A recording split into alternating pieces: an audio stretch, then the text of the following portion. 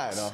Ah, si Angie Ferro. Yan. Ano ang contribution sa'yo ni Miss Angie? Ah, si Angie, nung college ako ay sumali ko sa ah, stage play, no? Yung dulaang ah, Andres Bonifacio Theater Group. Okay. No?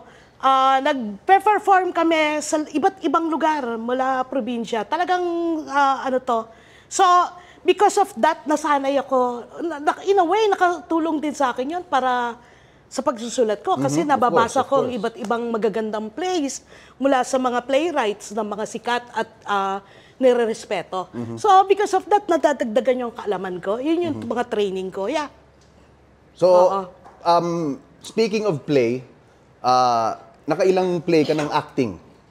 Ah, The Trial, ah, siguro mga lima siguro. Nakalima ka? Oo, nakalima ako.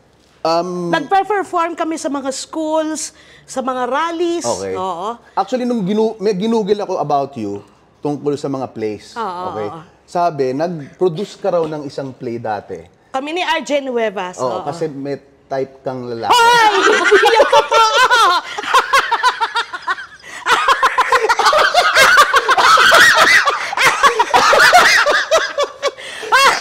Ginu- ginugil talaga. Talaga sa kay- lugar kay. Tracy. At saka kaibigan ko pa rin yun. so, ay nako, fake news to. Fake news to. Fake news to ano? Pinagpapawisan na. Ano ba yun?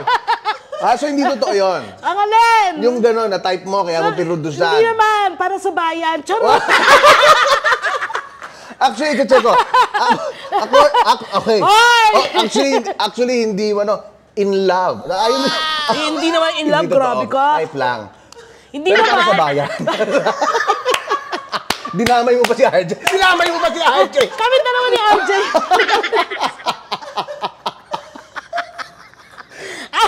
Okay, nakaisa na ako. nakaisa na ako. Pinagpapawisan ako. Pero talaga nagpo-produce, or isa lang pinroduce mo?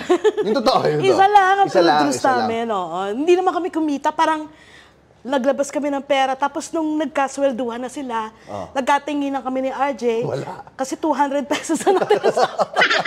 Nasulit naman. Yung ano. Ang yung- alin? Hindi, Yung pagkakaproduce mo, pagka- may nahita ka Para na. sa bayan.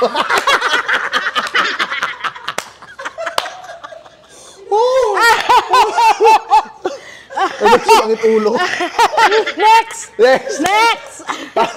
Pa ako isang ginugel. Ano na naman Hindi, yan? ito, ito, ah, cute lang to. Okay.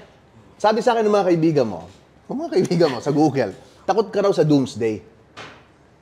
Na meron ka raw, meron ka raw closet sa bahay mo na punong-puno ng ano, pagkain dahil nagho-hoard ka?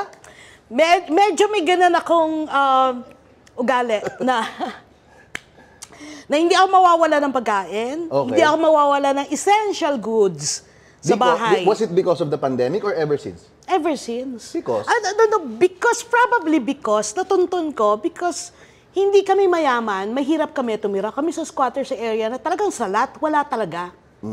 And minsan talagang kumakain kami na walang ulam, talagang kanin lang. So, I, I guess nung, nung nagkatrabaho ako at nagkapera, naging ano ko siya eh. Naging comfort ko siya, knowing na Meron. pagising ko, marami akong makikitang pagkain. meron kaming, meron kang Hindi ka ba ano, takot na expired na yung iba doon? may mga na-expired ka.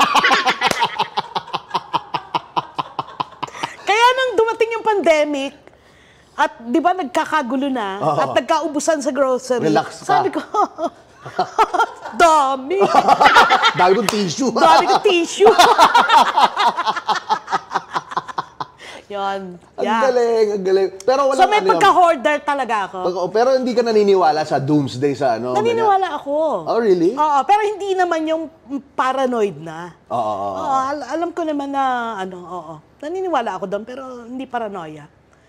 Ano Wala, wala, wala akong bank, ano, house, wala. Bang?